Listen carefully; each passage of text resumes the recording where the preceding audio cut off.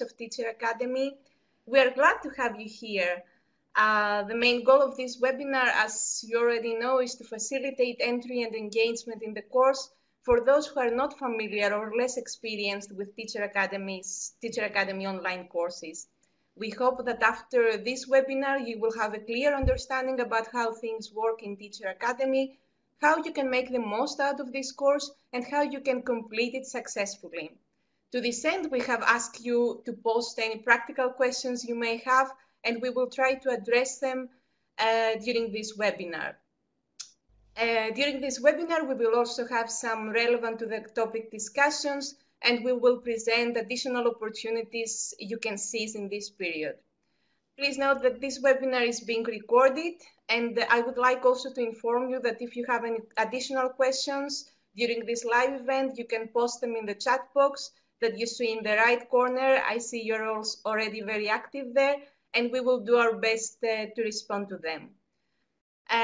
Uh, so before starting, let us introduce ourselves first. So my name is Efi Saltidou. I'm the instructional designer and course coordinator of this course and other courses of Teacher Academy of School Education Gateway. So some of you may know me already and I work as pedagogical officer in European SchoolNet, supporting uh, the pedagogical and professional development activities in Future Classroom Lab and other European SchoolNet uh, projects. But in this course, I'm not alone. I'm very glad to have with me in this course Jose. Jose, would you like to introduce yourself? Of course. Hi, good afternoon. Uh, my name is Jose Viñas. I'm uh, a teacher from a high school in Coruña, Spain. I teach biology and I'm part of the group of experts in the Ministry of Science in Spain of experts about uh, citizen science. I train teachers and uh, from primary and secondary school on hands-on activities and I'm a, I'm a communicator in a science TV program for uh, kids. So as you can see, I'm a teacher. Excellent. Thank you, Jose. I'm really happy to have you with me in this initiative. Here you can see also our Twitter handle. So if you want to follow us and connect with us, please feel free. And I also make a note that if you face any technical questions throughout this course, you can contact the Teacher Academy in the email you see there. But in this course, it's only it's not only me and you, Jose, right? no. so in this yeah. course, we have many participants joining from all around Europe. You see here, uh, I've seen already here in the chat, we see people from Poland, from Greece, from Italy, from Spain, uh, from uh, Portugal, from Germany. And I'm really happy that we are so many different, uh, so many people from different countries here, Albania, North Macedonia. I'm just reading your, your chat now. So we are glad to have you uh, all here. Um, so before we start, uh, I would like to share some ideas and to, to be all on the same page and start reflecting about the topic because our topic is how to address the global climate crisis in our classroom. So to this end, I would like you also, all, all of you to go to this, uh, to this website, to go to menti.com and use the code that you see here. I can add also the website to the chat, so it might be easier for you here. So go here, use the code 313856 and try to reply with one or two uh, uh, words in this question. So what is the first word or phrase that pops in your mind when you hear climate crisis? I will give you one minute to reply to this question. In this course, we are choosing the word crisis instead of change. So why we do that, especially in this period? The phrase climate change sounds rather passive and gentle when what scientists, what scientists are talking about is a threat for humanity. It's a bit weird to discuss about climate crisis in this period while we are experiencing a global health crisis, but the word crisis really shows the urgency of the situation, so that's why it has been chosen.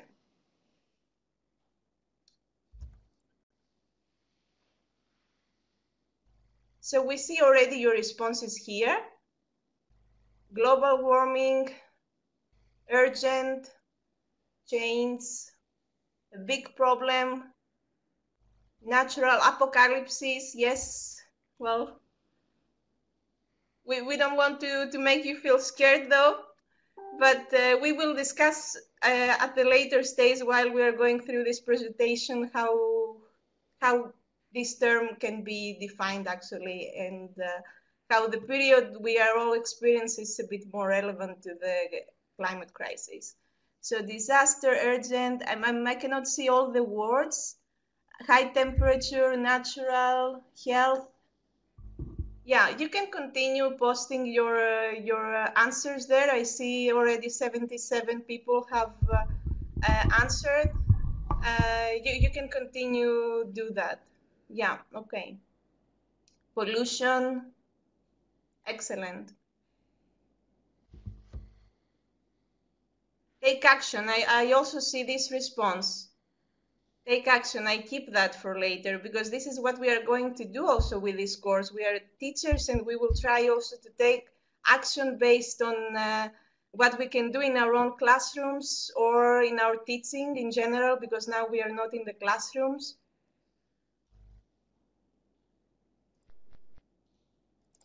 Okay, excellent.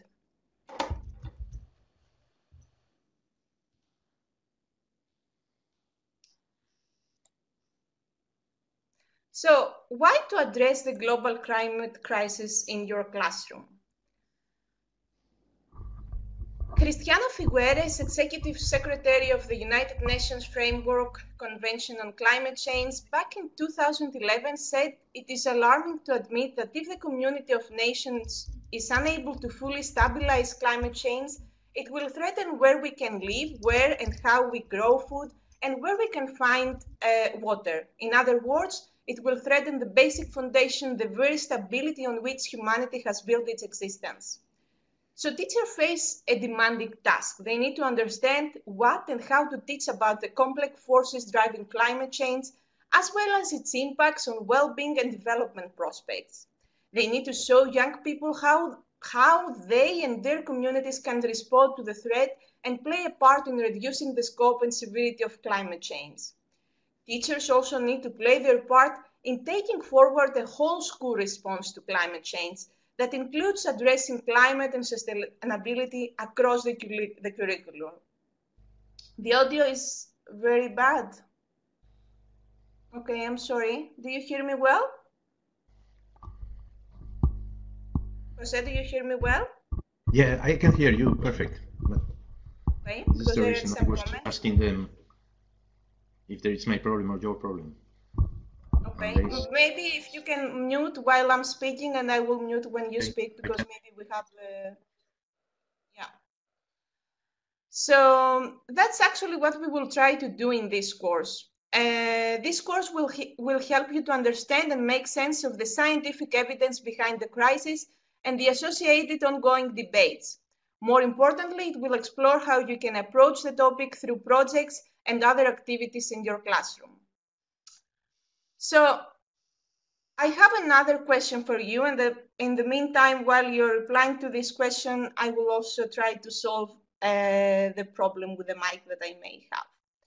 So how relevant is this uh, learning? How relevant is learning about the climate crisis in this period, in a period where we are experiencing a, a health crisis?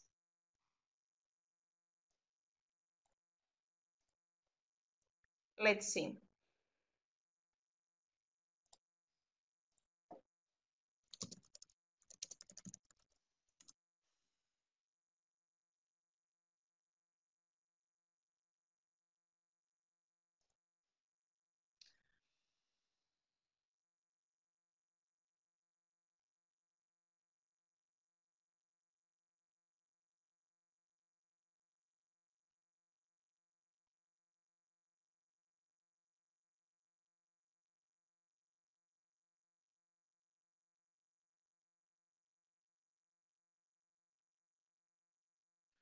Okay. I hope you see the results to your answers also, right? So 97% of the participants think that uh, uh, it's quite relevant in this period as it is, it, a, it is a serious issue to discuss and learn about, especially in this period. Some people are a bit neutral, so it is something to think about alongside other societal issues. But uh, I'm happy that you see that this topic is relevant in this period. So I'm continue back to the presentation what is happening in this period and why we are explicitly uh, referring to that. We can obviously we cannot ignore the current situation we are all experiencing. Right now, unfortunately, a threat is unfolding which gives us a direct comparison with the climate crisis. What, so what makes the two crises so different in terms of the threat itself and in terms of our response? Let's see. The coronavirus outbreak has triggered global alarm and the world jumped into action because it feels immediate. It's here today, and if we don't act on it today, it's going to cost countless lives. So we moved on restrictions on travel, factories shutting down, quarantines, and we have seen a huge surge on scientific research around the topic. So we have seen big structural changes. Climate change also requires big, big structural, structural changes, which will take us years to put into place. So probably the best we can do about this topic is to put our efforts in stopping us getting to that point of crisis in the first place. Instead of jumping into action when there is an extreme weather event, for example, which of course is necessary, what about putting our efforts to stop one of the biggest driving forces, climate change? For the topic of climate change, often public or political opinion view the necessary steps as not realistic. But how realistic was it for you to stay at home for more than one month some weeks ago? So why our responses to those two threats are so different? We can open a big discussion here, but I'm going to stick to our topic. So the kind of earth that future generations generations will inherit depends on what we are we are doing today actually there is an additional connection between the two crises. The environmental changes caused by the coronavirus lockdown were first visible from space. In the first picture, for instance, NASA's Earth Observatory pollution satellites show significant decreases, decreases in air pollution over China since the coronavirus outbreak began. And the second picture highlights that the water in the canals of Venice now looks clearer because there is less traffic on the canals. While we are staying at home, nature seems to be increasingly able to breathe more easily. That's a very concrete evidence that shows that climate change is caused by human activities. That's why we all have a duty to act to stop the climate getting worse. The actions we take now will determine what the world we live in will look like in 10, 20, or 50 years' time. So education is critical in this regard. Actually, the current situation enables the change of perspective young people now have because of the COVID-19 crisis on what a crisis really means. It is not a faraway thing that happens to other people. It can be terrifying and require drastic measures. It also prioritizes the scientific perspective through which we should approach things like that. Both COVID-19 crisis and climate crisis are based on scientific facts. However, we have seen many conspiracy theories and fake experts regarding both topics. That's an area that we should focus more in our teaching. We should support our students to be critical thinkers and build an immunity to fake news.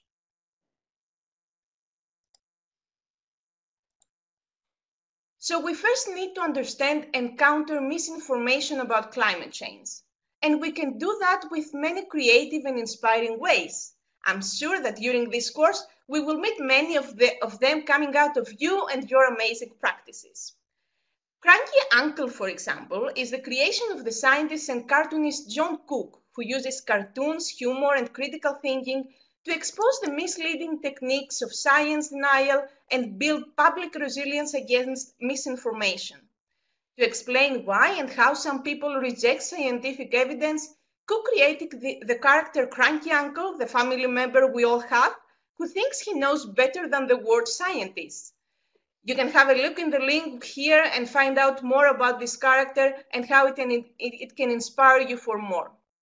Another interesting tool is this app named Spot the Fake, which has been developed as an outcome of the project Digital Resistance funded by the European Union.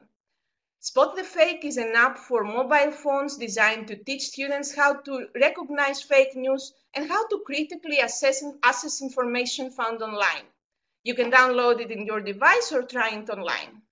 On the last link, you will find relevant free educational resources and worksheets developed by WebWise for teachers that you might find useful. Please note that you will receive presenta the presentation, so it will be uploaded in our plat platform, so you will be able to visit the links as well. So let's go back to practicalities. Jose, would you like to explain us the course structure and tell us how we can succeed in this course?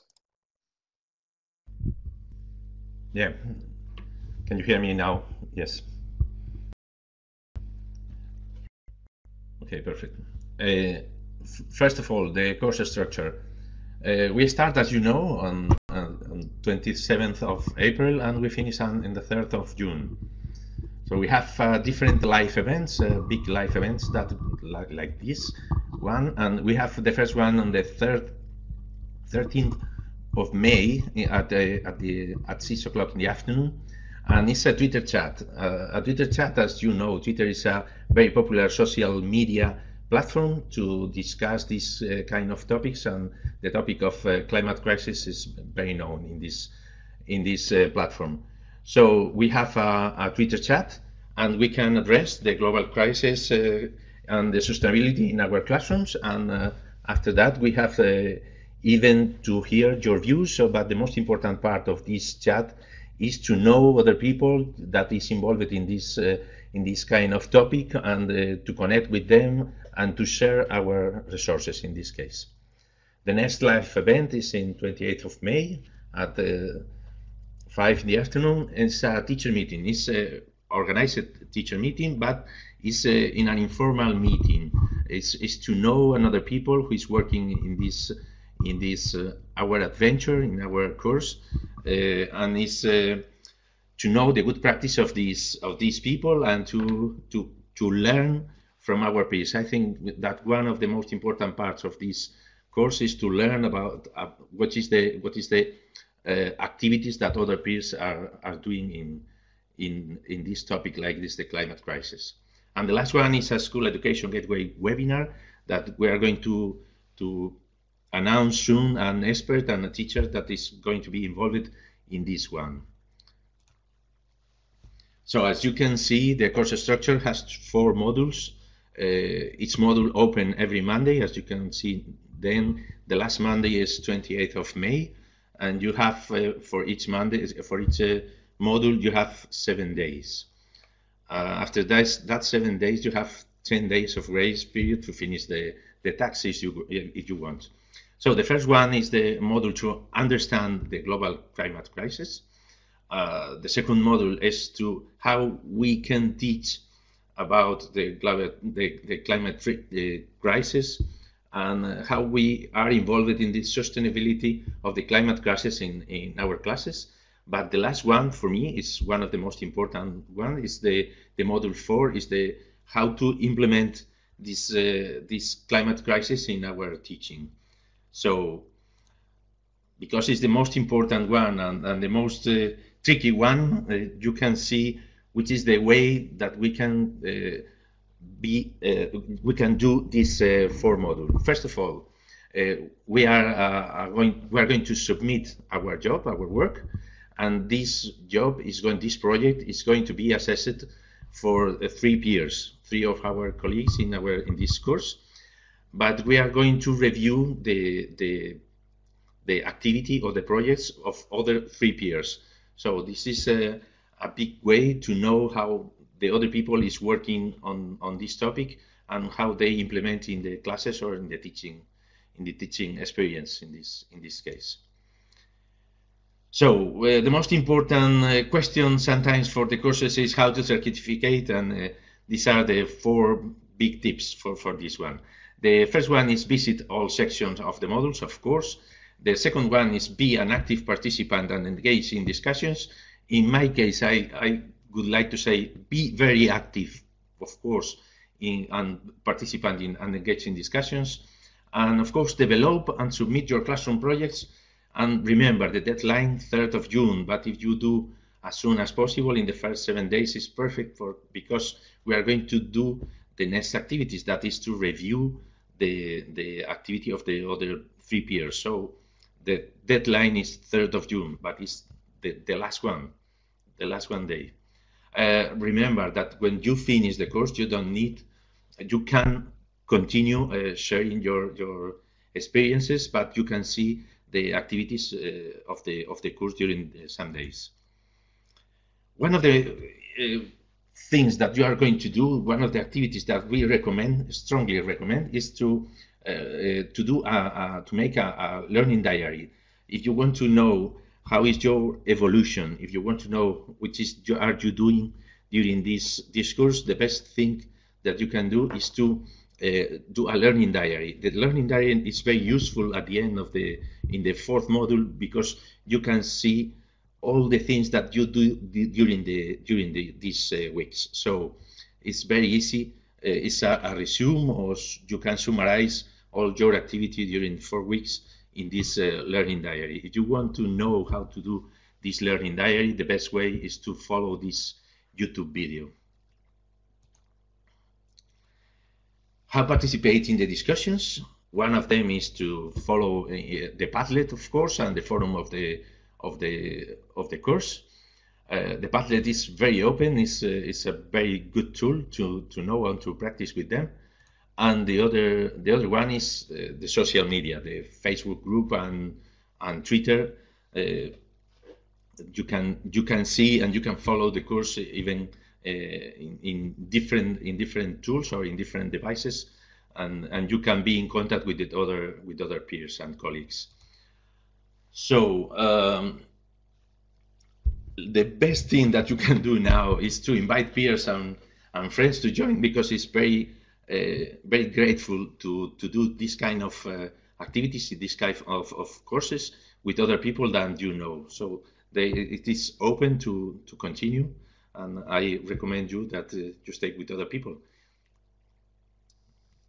Indeed. So please invite your colleagues, invite your friends to join. It's uh, still very early on this course. We started on Monday. So share the news and invite your, fr your friends because learning together is better. Just to reply quickly to some questions that I read in the chat. So yeah, the mandatory activity of this course is in the module four. All the other activities of course, we highly recommend you to take part in the other activities as well because you can exchange and inspire your colleagues. But the only mandatory activity is in the fourth modules. Social media are not necessary, but of course we have a Facebook group and we have a Twitter. Uh, so it's also good to, to be there so you keep an eye on what's going on there. And regarding the live events, you can find more information on the live event section in the platform. So before we leave, and before I give you some time to, to ask any other questions you may have, uh, I'm keeping a surprise for you.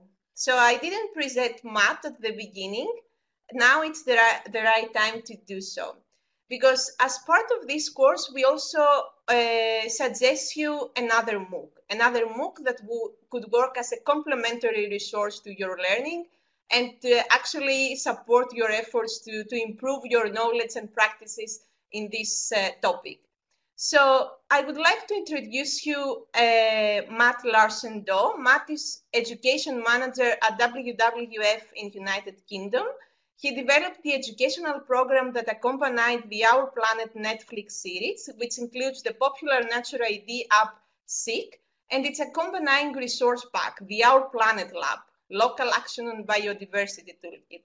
Matt is chair of social socio-educational charity HVP Nepal, United Kingdom. Matt, could you please turn on your camera and your microphone so we can welcome you in this uh, Hello. presentation Hopefully as well? The sound works. I can see the little thing coming up from Excellent. the microphone, so I think it is working.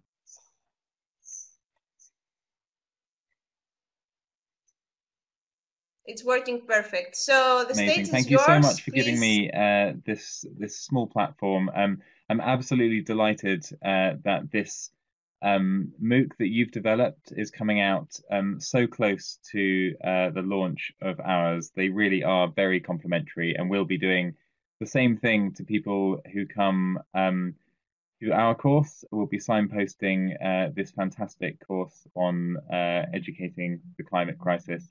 Um, uh, as you'll see, it really does fit um, perfectly together. Um, so uh, I am the education manager at WWF UK. However, um, as as you heard previously, I worked on the global education program associated with the Our Planet series. Um, that was a Netflix series that some of you may have seen. Um, if you haven't, because you don't have Netflix, it is now available uh, for free on YouTube, um, and it's a fantastic resource for the classroom um, or to direct your students to watch and also for your own interest. Um, if you have seen the series, you'll know that its focus uh, was not on one particular issue, but on how the planet works as a living system. Um, so it's, it shows how the different biomes of the planet all have a role to play uh, to create the conditions for life, and then how human activity in each of those biomes and uh, the way that we live generally um, is actually preventing the planet from uh, supporting life, from supporting us in the future. So, climate change is therefore one of the issues that the series deals with, and it's an incredibly important issue, and it's obviously the one uh, which most people are aware of these days uh, when it comes to environmental crisis. Um, and so it's a fantastic place to start, and it's also a fantastic uh, opportunity uh, to engage students in thinking about issues that go beyond climate change. Um, so the course that we've developed is called Education for a Sustainable Planet, um, and it's built around some of the content uh, that was developed for the Our Planet series. So some beautiful video footage um, that was shot for the series and also for the website ourplanet.com. And it also tries to make a similar point that there is a living system, our planet, uh, that we need to support um, and uh, enable to continue to function if we want to survive uh, for the years ahead. So that means that it takes one step back from focusing on a specific issue like climate change and looks at the very broadest issue. And the very broadest issue is that we are not living within our means. We are not living sustainably. Um, and uh, at WWF, we believe that this is the principle that we really need to underpin um, everything that students do around uh, geography and science um, and any environmental issue that they discuss or study at school. Um, because it's not just about understanding the causes of one particular issue, it should be about the principles that can prevent us from causing issues in the first place and breaking the living system that supports us on our planet. Um, so, what sustainability and an understanding of sustainability means in practice is that we mustn't just think about the way we need to change um, the way we live, we need to actually change the way we think because we need to be able to look at everything that we do now, but also anything that we might do in the future that we currently don't do. Um, and we need to think about whether or not it is sustainable, whether or not it's going to cause problems, whether it's contributing to climate change or whether it's causing another problem, um, and think about whether or not it's actually a sensible course of action.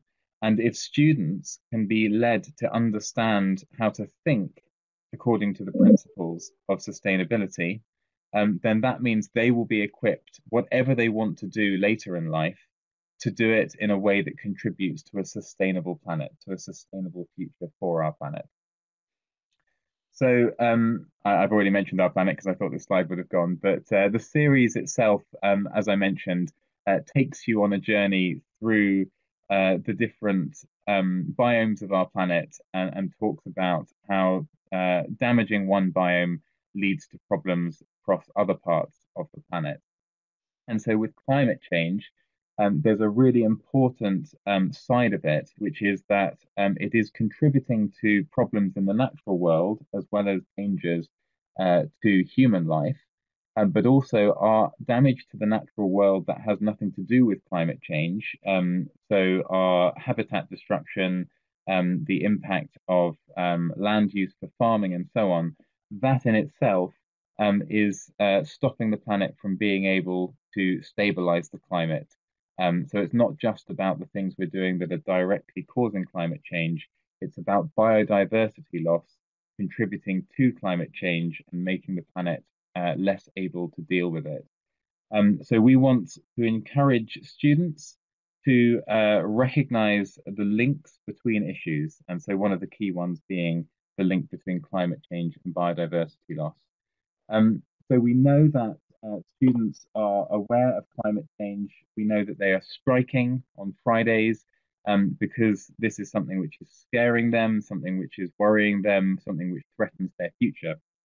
And we don't just want them to be angry, we don't just want them to see activism as the only way to bring positive change because it shouldn't just be about stopping what we're doing that's damaging the planet. It should be about working positively towards a better form of life on our planet. And that's what this MOOC uh, that we've developed is all about. It's about thinking about the whole system and underpinning all decisions with the principles of sustainable thinking and systems thinking, so seeing the connections. Um, just like with your with the uh, the climate change education course, um, we promote a whole school approach, so it really does complement well. Anything that you learn um, from one course uh, will relate to uh, what you want to apply from the other course. Um, so we talk about uh, how schools are not just ways for students to gain skills and knowledge. Um, they are uh, places within a community that have an impact themselves. They have grounds, so they are themselves sites which can have biodiversity impact, good or bad.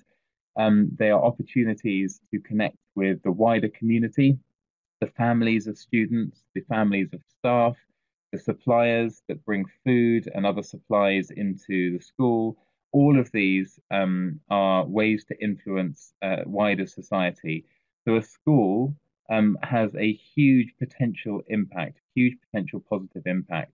So in our course, um, we try to encourage all educators and principals to think about not only whether or not they are teaching positive values and teaching uh, the, the facts and the science behind the issues that our planet faces, but also whether they are demonstrating the principles of sustainability and good practice environmentally by the way the school is actually uh, working itself and um, by the way that the school is run and managed. and schools um, are not just places um, which can do positive, uh, can do things well or can do things badly and can set a good example or not. Um, they're also convening places.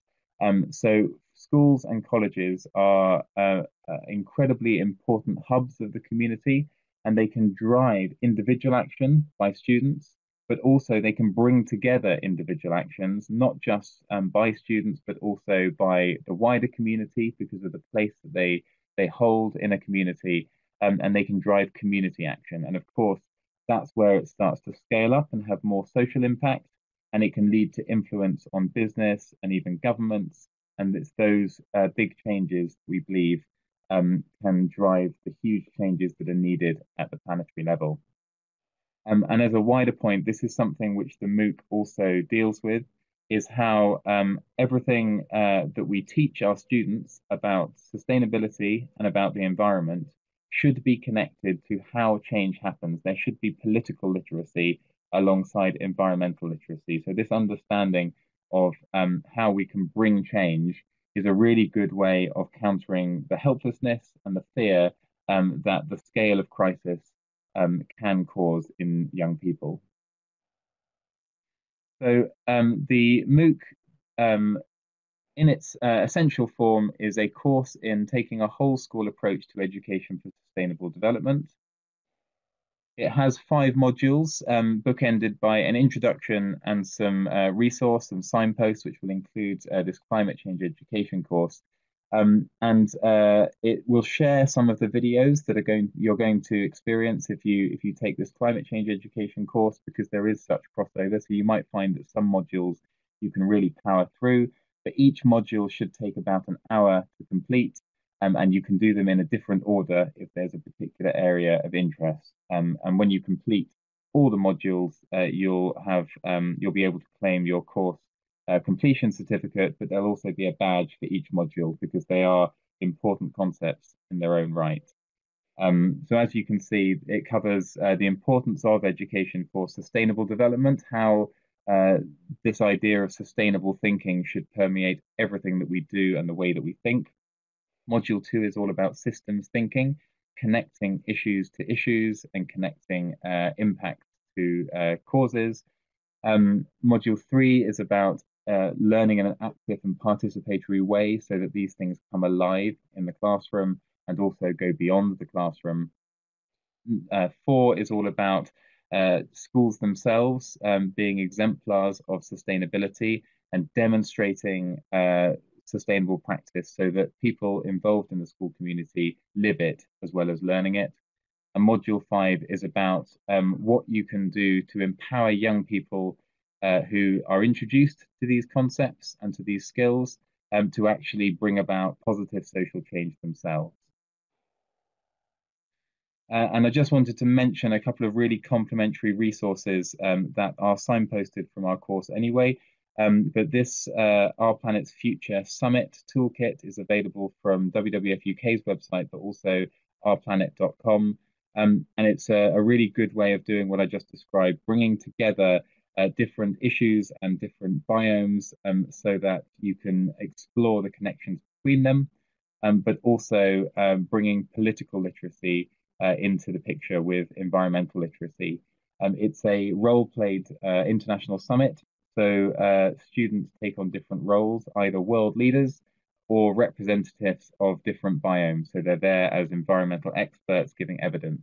Um, and there's a big discussion, lots of presentations. So each student uh, researches something and presents on that, but also hears all of the other issues. And then there's a big roundtable debate. The world leaders get the final say, um, but they have to think about what they've learned and how they can make that into a plan for the future of our planet. So it's trying to make sure that no issue is seen in isolation, that everything is seen as connected. And then the other thing I wanted to mention, which uh, I think Effie already mentioned, was um, our citizen science stream is all about um, looking at uh, real world um, landscapes, real world biodiversity, um, so that students can gain uh, some hands on experience of uh, these subjects. So we have this fantastic app called Seek, which is all about being able to identify the wildlife around you. Um, and that's our way of um, making sure that in learning about uh, these issues, in learning about the, the big planet wide uh, crisis, um, students have something practical that they can go out and do. They can use this app to explore their local wildlife, see changes in the landscape, uh, changes in the ecosystem over time, um, but also they can be citizen scientists. They can take wildlife observations and upload them to help scientists monitor biodiversity. So it's a real practical STEM experience um, that also means that they have um, a practical way of um, relating what they learn about in the classroom to uh, the, the landscape around them. So I just wanted to leave you with the five principles that underpin uh, our course. Um, they'll all be things that you dive into in more detail if you can take the time to do it. Uh, so the first is that as educators, uh, we can teach the connections. We can make sure that students do not um, just learn the science of a particular cause and effect, um, that they actually understand um, that everything that we do that has an impact on the world um, is connected to um, everything else. And one uh, one change um, to the planet uh, leads to many other changes. Secondly, we can foster sustainable values. We don't just have to teach the science behind why they're important. We can help uh, students and staff, of course, put them into practice. Thirdly, we can nurture a connection to nature so that uh, students become uh, more able to see changes in their own environment and more sensitive uh, to the impact of their own actions. Outdoor classroom um, and Forest School and all of these other um, methodologies that are available to us um, that um, help us to get students to spend some time um, exploring and understanding better the natural world.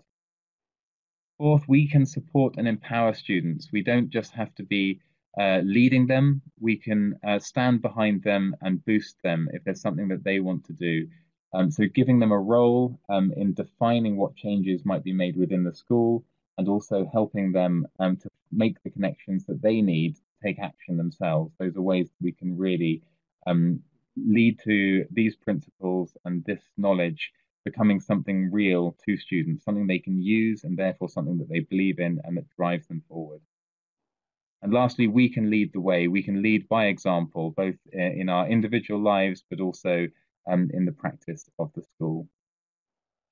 So I will just pop into the chat a link to uh, the page we've got on our website. The MOOC's going to be going live within the next two weeks. It was meant to be live already, but with uh, COVID-19, things have slipped a little bit. Um, I'm sure we're not the only um, uh, people to feel the impact on that. Um, but if you go to this website, um, you'll be able to sign up to receive an update when it goes live. Um, and uh, I really hope that you'll find it a very useful complement to uh, the climate change education course. Um, it's also free, um, and as I said, it is um, it does come with certification. So thank you very much. Excellent, Matt. Thank you very much for presenting this course. I we highly recommend you participants to join. So please make your agenda, your weekly agenda, to save some time both for the climate change MOOC and the MOOC that uh, Matt just uh, presented to you because there are two great opportunities now in this period which are both free and are very well prepared for you to equip you with the right knowledge and skills and attitude that you need in order to include these elements in, in your teaching. So um, uh, I think we have answers, answered to most of your questions you had so far during the presentation. If you have any other question, please post it here now. It's the last opportunity. Um, the recording, as we said, will be available in our platform.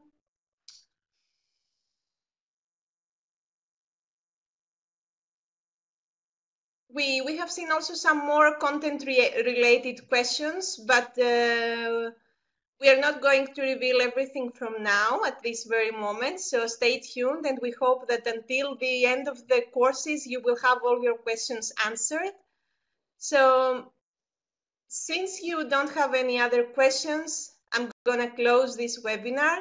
I'm gonna thank my two great gentlemen for being here and presenting their practices. Thank you, Jose. Thank you, Matt. Um, and thank you all of you 215, 20 people that you saved this time slot for to spend it with us in this webinar. I hope you are enjoying the course so far. I hope you find the first module of the course useful. Stay tuned, interact with your colleagues, take as much as you can, inspire each other, and enjoy this uh, learning journey. Have a nice evening, everybody, and take care.